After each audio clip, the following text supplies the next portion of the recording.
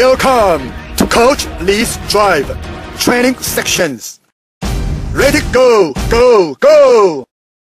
You can see this car parked at a narrow arcade. Take a close look. The ground is slightly inclined. In the driver training series, I mentioned, well, the car would go depends on how the steering wheel be turned. And this will be the case, both in forwarding and reversing. The wheel turns right, the car goes right, and the vice versa. To put it briefly, every hard turn the wheel goes would allow the tire a 10 degree turning. That you turn the steering wheel as much as possible about one and a half turn would allow the tire a 30 degree turning. This is the garage you visit frequently, so you are supposed to be very familiar with all the signs and can tell how much you should turn the wheel relatively. Shift to R gear. Look back and turn the wheel to the left as much as you can. Gently press the accelerator so the car would slowly reverse uphill. Stop the car. Shift to D gear.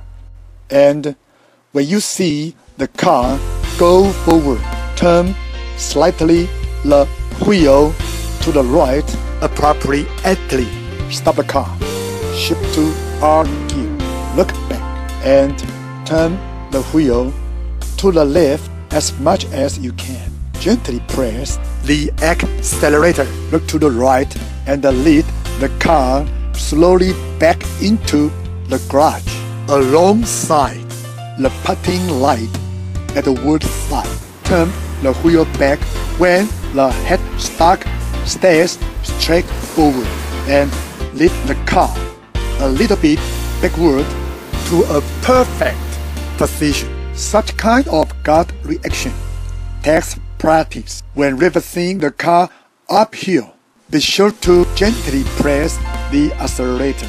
Otherwise, the car would bump into your house.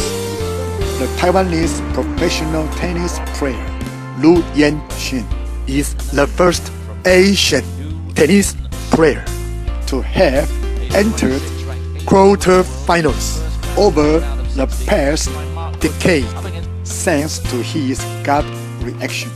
Having turned around a couple of games, the timing for him to drive, to smash, as well as the stroke power had always been given a hand, going beyond the limit end up disappointing out of gut reaction. The stroke power decides the ball to throwing or out nice. You never know what the next parking space would be, so you need to sharpen up the gut reaction in your daily life. Park your car safely or have it bump into doors and windows. How scared your gut reaction is would make the difference. Yeah!